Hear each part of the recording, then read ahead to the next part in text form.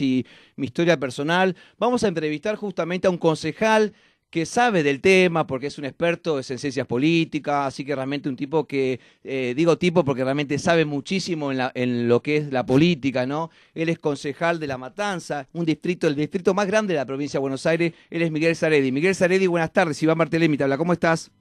¿Qué tal? Buenas tardes, ¿cómo están?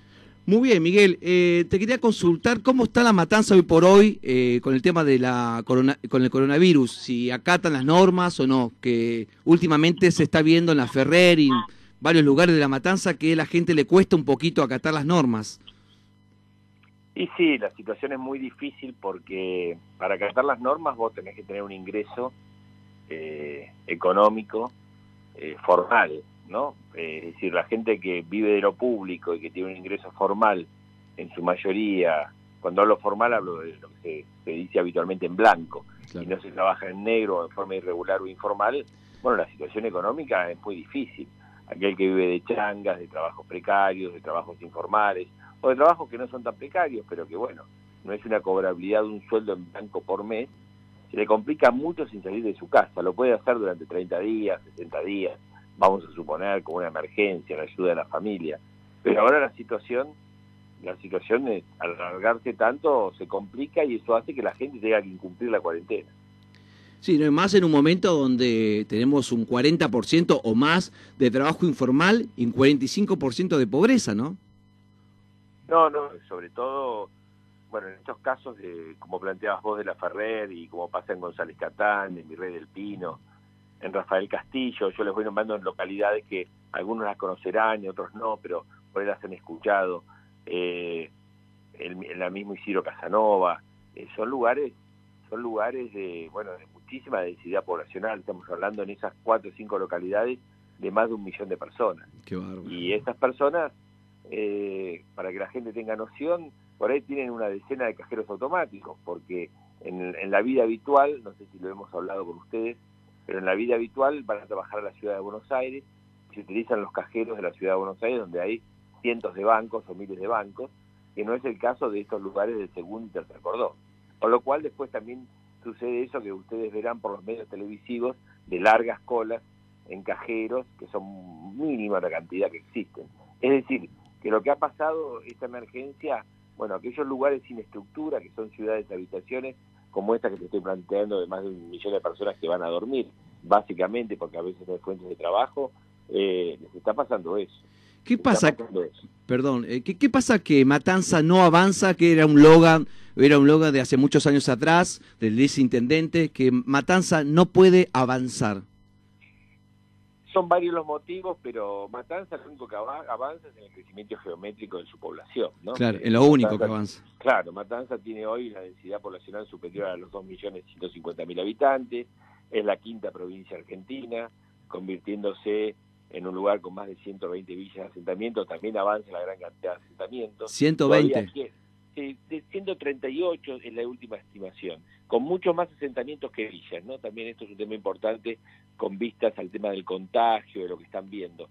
La villa, para que la gente que nos está escuchando entienda, es el lugar, digamos, eh, donde las casas se amontonan, pero las ven que van subiendo. El asentamiento es horizontal y la villa es vertical, digamos, ¿no? El asentamiento es el lugar donde la gente se va se va metiendo en un terreno, en otro terreno al lado, en otra casa despoblada, el asentamiento se va formando de una manera horizontal. Y la villa, lo que ustedes ven por televisión, de la Villa 31, que va creciendo en forma, en forma vertical. Eh, obviamente, para el caso del COVID es mucho más peligroso la villa que el asentamiento. Pero eso no quita que los asentamientos haya muchísima pobreza. Es una mezcla de pobreza urbana y pobreza rural. Y en La Matanza todavía queda en el tercer y cuarto cordón, como le dicen ahora, eh, espacios vacíos donde se sigue asentando gente, ¿no? Eh, gente sin cloacas, sin agua, sin, eh, sin gas, por supuesto, eh, sin condiciones mínimas. Y esa, esa es la situación. Y esa situación tiene un doble motivo. Por un lado, no, no, hay una buena administración local, esto hay que decirlo, hace muchos años que tiene la misma administración del mismo signo, y por el otro lado, hay un problema grave de ingresos, no solamente locales, sino de coparticipación. La matanza, como toda la provincia de Buenos Aires, es muy perjudicada, vienen muchos pobres de todo el país al conurbano y en lugares como La Matanza, está lleno de gente nuestra del norte, del sur, del litoral, pero no están los recursos para la provincia de Buenos Aires y para La Matanza, para que se haga una urbanización y un desarrollo sostenible. Entonces estamos en esta locura en la cual seguimos concentrando gente en el conurbano, concentrando gente en lugares como La Matanza, sin infraestructura, sin servicios básicos, sin urbanización. Y cuando hablo de urbanización, no hablo de algo que, te lo voy a decir a vos, es conflictivo y polémico, pero lo voy a decir, ese mamarracho de la urbanización de villas y asentamientos, como han hecho con la 31, la 1114, que ven en la ciudad y que también hacen en la provincia de Buenos Aires, porque acá, acá lo hacen con la Parito. ¿Por qué digo mamarracho? Porque está demostrando que no hay que urbanizar villas y asentamientos. No, no. Ya saben que hay que hacer, hay que trasladarlas, hay que llevar a la gente a lugares dignos. No se puede urbanizar pozos, porque pasa lo que está pasando ahora. Eh, se han cansado de meterle plata, fortuna, eh, plata tras plata, ministerios, y saben lo que hicieron es esto, este, sinceramente un desastre. Y, los sectores a veces progresistas, entre comillas, creen que eh, si uno dice esto está...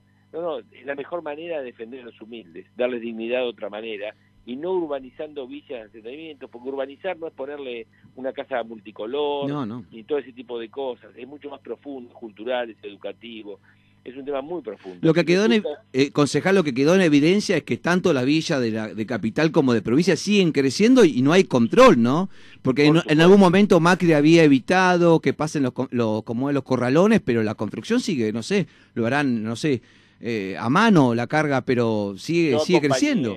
Yo acompañé sobre todo los dos primeros años a Vidal y fui candidato de ella. Sí, sí. y pero la verdad es que si ha cometido un error grave eh, el PRO y el macrismo es cuando continuó y no se animó a terminar con determinadas cosas.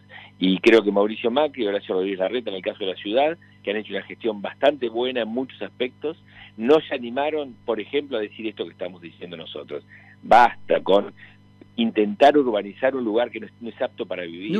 porque de manera artificial meterle plata y plata y estructura miren lo que estamos logrando. Hoy, hoy se demuestra claramente que un lugar que tendría que ser riquísimo por la cantidad de plata que se ha gastado, ahora ha sido, ha sido en vano.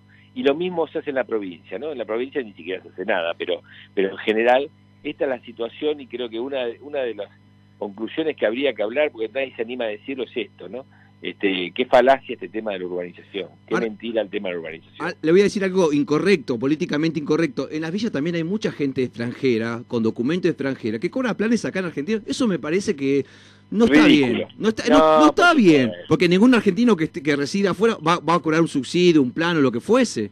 Mirá, en La Matanza hay un 10% de su población que es extranjera. En la última elección, en el padrón figuraban 125.000 votantes extranjeros para que ustedes tengan idea de la magnitud. Es decir, que esto significa que hay por lo menos 200.000 extranjeros, este, por lo menos el 10% de su población. En su gran mayoría, yo te voy a decir a vos, trabajadores paraguayos de la construcción, bolivianos, sea de la tierra o de la construcción, eh, pero ¿sabés que quieren muchos de ellos? Que se los transparente, estar en blanco, con documentación, pagando impuestos, con escrituración de sus casas, eh, lo que pasa es que hay a muchos vivos que les interesa que esto sea todo en negro, todo en un submundo, todo sin documentación, que en eso sí se pudo avanzar los últimos años, eh, sin escrituración de sus casas, sin blanqueo para que no paguen los impuestos, porque les cobran peaje, entre comillas, en negro, y les conviene esta, esta, situación anormal en villas, asentamientos y en barrios carenciados, porque se cobra un peaje en negro que no va al Estado, va un puntero, va algún dirigente político, va algún funcionario o va para quien sea que maneje ese barrio. Entonces, si el extranjero viene, se radica, tiene documentación, paga sus impuestos como cualquier persona en el mundo, este, y muchas de ellos son trabajadores, eh, hay que decirlo, una gran mayoría de paraguayos, de bolivianos, son trabajadores, pero tienen que pagar los impuestos, porque vos cómo sostenés la salud, la seguridad, la educación, eh, de, un país con el impuesto. Resulta que vos absorbés la carga del, ciudadano y no le cobras impuestos. ¿Quién se lleva la plata? Algún vivo. Claro. Este, algún vivo se lleva la plata. Por eso esta es la situación absolutamente irregular que, que, también hay que modificar urgentemente con el caso de los extranjeros. Además, en Argentina, tanto nacionales, provinciales, municipales, hay más de 160, en total creo que 166 impuestos. Claro, una locura. Es una locura. Eh, mira, eh, la situación económica también, esta urgencia y esta crisis tan tremenda, debe, debe llevar a... Eh, el otro día discutía yo con otro dirigente que hablaba que el tema del dólar, la falta de moneda, que la, y es verdad, pero también es verdad que en mi caso, como el de mi padre y hasta de mis abuelos, ya no existía la moneda en la Argentina y todos confiaban en el dólar como una moneda real y en el peso había mucho grado de desconfianza. Lo que no había es esta falta de posibilidades de inversión y de, y de querer invertir en el país, porque no existía este, esta, esta locura de impuestos, de tasas y de contribuciones que hacen imposible que aún en esta época, por ejemplo, que hay grandes negocios con el tema de la compra de autos, porque han bajado muchísimo por la crisis, por el tema del dólar, por lo que sea, la gente no quiere comprarse un auto, no quiere cambiar su casa, no quiere arreglar ni lo que puede, porque no quiere pagar más impuestos ni quiere pagar más gastos. Y endeudarse en un momento totalmente inestable, ¿no? Claro, entonces han llevado a la Argentina a una situación que además de no tener moneda, como, pero eso fue tradicional, antes todos querían mejorar y progresar e invertir en nuestro país.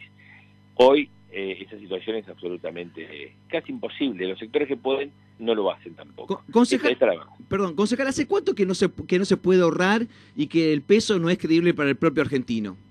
Décadas. Décadas. Pero ¿sabés qué pasaba?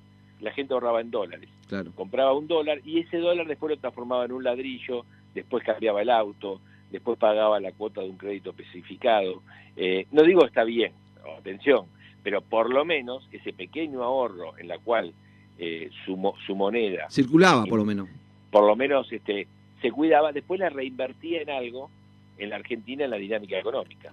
Este, ahora no. No, hoy no circula. Ahora, ahora, bajaron las tasas de ventas de todos los vehículos, las tasas de, ventas inmobiliarias, las inmobiliarias están desesperadas, bajan los precios de las propiedades, las terminales automotrices están paradas, las consignatarias están desesperadas, eh, porque si una persona tiene ese dólar metido en una caja, en su casa o de ahorro, eh, o en una pequeña cajita de ahorro, ya no quiere ni siquiera invertir en el país. Esto, esto es lo más grave, aún además de la falta de moneda. Esto es lo grave.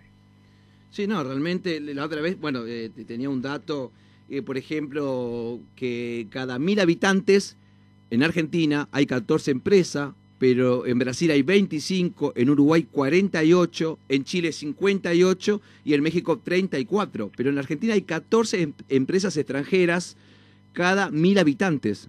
Es por, por la falta de que somos poco serios, ¿no? Y además por tantos impuestos hay mucho mucha concentración este, tributaria eh, y después hay mucha inseguridad jurídica. Vos fíjate que puede pensar cualquiera que quiere invertir que está viendo los proyectos de ley como el de Fernanda Vallejo, como el proyecto de la riqueza, eh, y a muchos de nosotros obviamente no nos inciden estos impuestos, pero eh, indudablemente estos impuestos que no nos inciden a nosotros eh, no permiten la inversión.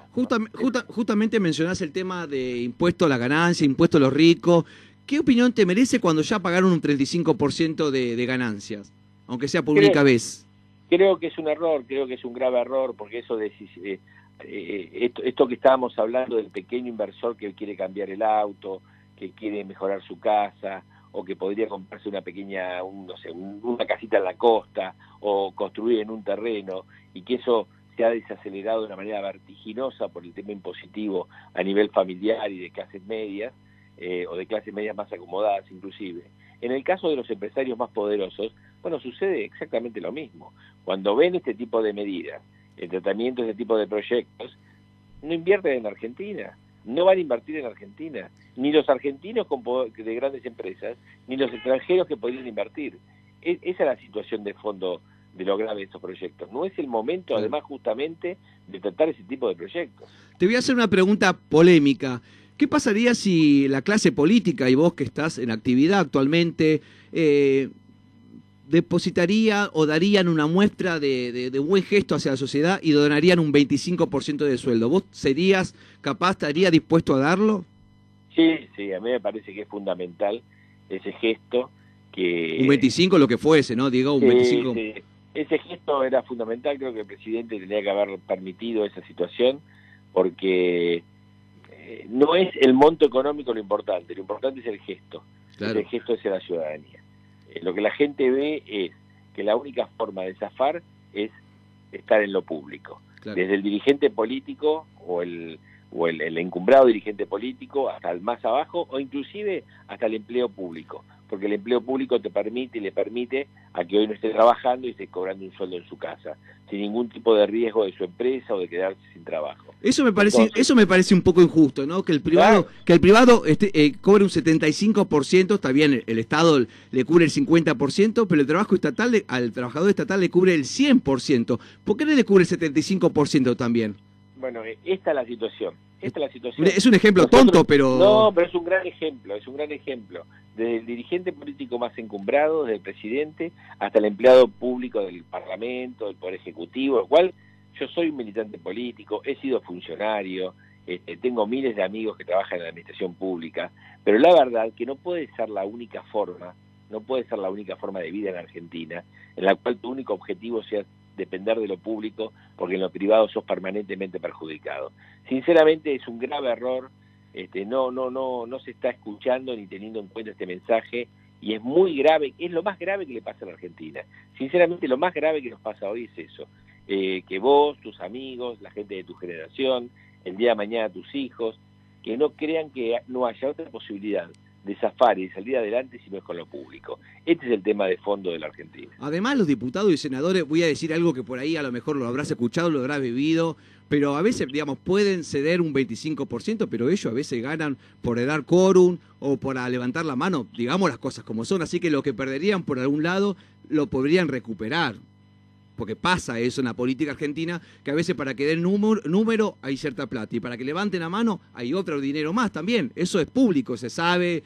Eh, yo tengo el dato como periodista, esto estoy hablando del 80 para acá, sí, del, 83 para acá. O sea que, digamos, no es que la pierden, se recupera. El, tema es que, insisto, no puede ser eh, un 20-25% de los argentinos solamente sostengan al resto a través de la actividad privada. Si nosotros no solucionamos ese tema, eh, no tenemos destino. Sinceramente no tenemos ningún tipo de destino. Además estamos todos en el mismo barco, ¿no? Sí, este, pero está más calentito eh, en, el, en los camarotes públicos. Este, se está más seguro en los camarotes públicos. Entonces, yo le critico, eh, es una visión muy, muy, muy terrible para la gente. Yo le critico a Mauricio Macri que con fundamento en su momento le criticó a Cristina, que tenía muchísima gente en el, eh, digamos, en el Estado y planes, pero lamentablemente él lo duplicó, ¿no? Y actualmente... Pasó lo mismo que, que estamos hablando de la urbanización de villas de asentamientos. Él no hizo la reforma que prometió que iba a hacer.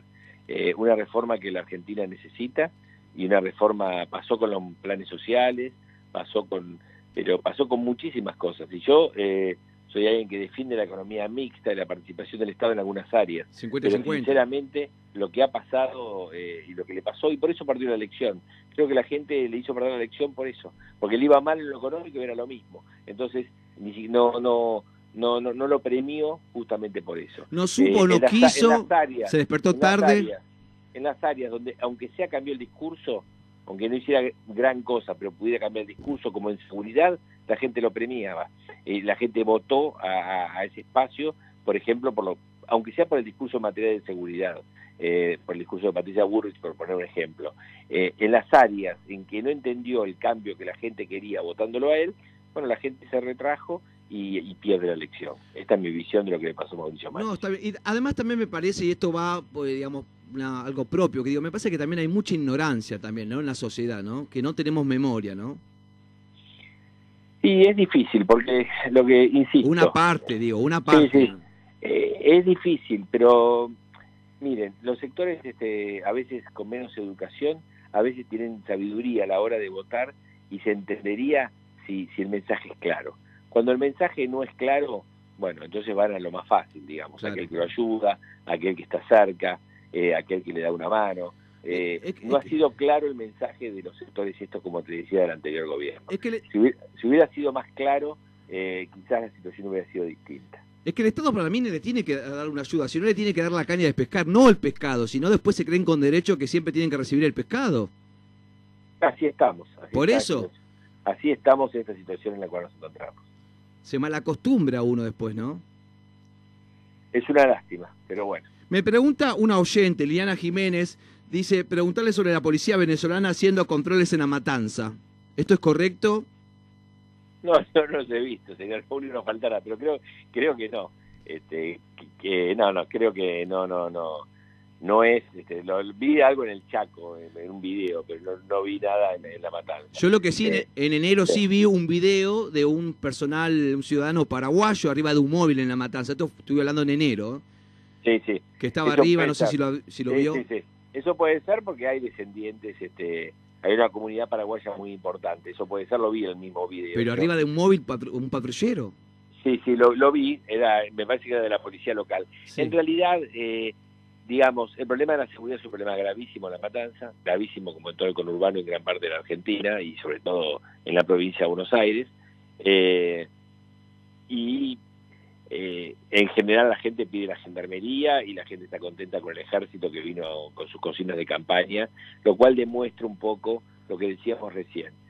Cuando la, cuando la gente el mensaje es claro y cuando la gente ve determinadas actitudes, la gente no es ideologista. ¿eh? La gente dice, los ideologistas este, están, están en otros lados. Eh, pero bueno, eso es un tema para largo. Pero no, venezolano no he visto. Bueno, mejor. Eh, te hago las dos últimas preguntas. ¿El municipio de La Matanza está presente? Te, le pregunto por qué. Porque, por ejemplo, veo últimamente al, al ex concejal María, José María Caruso, no sé si lo ubica, eh, que últimamente está ayudando en los lugares más pobres, más vulnerables, y así como él seguramente mucha gente, ¿no? Llegando, llevando comida, leche, digamos, pero es un... Eh, digamos, lo, quiero felicitar por el trabajo que viene haciendo, pero me parece que no debería hacerlo él, me parece que lo debería hacer el municipio, no sé, digamos, no un ex concejal. Sí, eh, no dan abasto, yo noto que no, no dan abasto. Acá, acá el Estado municipal es, es, es una provincia y no dan abasto. Sí, de paso lo saludo al concejal Caruso, sí lo conozco, estuvo muy brevemente en el Consejo, y él como muchos dirigentes y muchos concejales y mucha gente está trabajando a dos manos intentando ayudar como puede. Pero en realidad sí, falta mucho, ¿no? Falta mucho. La situación creo que todavía, te diría que en estas horas estamos empezando el momento más crítico. Concejal, la última preguntita, el tema drogas, ¿cómo está el municipio? No, en, general es un municipio es un municipio complicado porque insisto es tan grande y tan cantidad de villas de asentamiento que la situación no es fácil y sobre todo lo que hay es muy muy mucha falta de lugares para el tratamiento de adicciones para los chicos para los chicos adictos que las madres nos piden y los padres nos piden y no existen comunidades terapéuticas. No, lo quiero, no, lo quiero, no lo quiero chicañar, pero realmente lo que avanzó en la matanza eh, es la droga. Y es un tema, es un gran tema, es un gran tema y por eso la inseguridad, por supuesto. Claro, tal cual, tal cual. Ha sido muy, muy amable por atenderme la comunicación, concejal. No, por favor, un saludo grande. Por favor, adiós. Estábamos hablando con el concejal de La Matanza, el distrito más grande de la provincia de Buenos Aires. Vamos a una tandita y enseguida volvemos con la segunda, segunda entrevista del día de hoy.